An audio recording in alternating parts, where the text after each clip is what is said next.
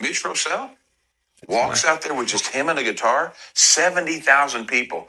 Him and a guitar. Sun's not even down yet, so people are still finding their seats, This is insane. getting their beer, and he slayed them. Ah! They took such Yes! great care of him.